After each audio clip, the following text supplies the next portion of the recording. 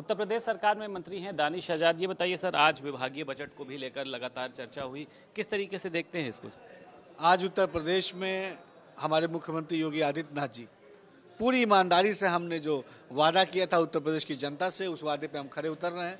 इस बजट के माध्यम से हमने उत्तर प्रदेश के विकास को सुनिश्चित किया है। आज डबल रफ्तार के साथ, डबल इंजन की यह सरकार उत्तर प्रदेश को विकास के पथ पे आगे ले जा रही है। और ये बजट एक मील का पत्थर साबित होगा। आज माननीय मुख्यमंत्री जी ने विधान परिषद में इस बजट के बारे में चर्चा की। निश्चित तौर पर तमाम बिंदुओं से साबित होता है कि उत्तर प्रदेश का किसान हो नौजवान हो मुसलमान हो उत्तर प्रदेश के जन जन के विकास को सुनिश्चित करता है बजट। उत्तर प्रदेश के को विकास की नई ऊंचाइयों पर ले जाएगा। पार्टी जिस तरीके से चाहे कानून व्यवस्था को लेकर हो बेरोजगारी में को लेकर हो महँगाई के मुद्दे को लेकर लगातार आप लोगों को घेर रही है। देखिए विपक्ष आज बेरोजगार है।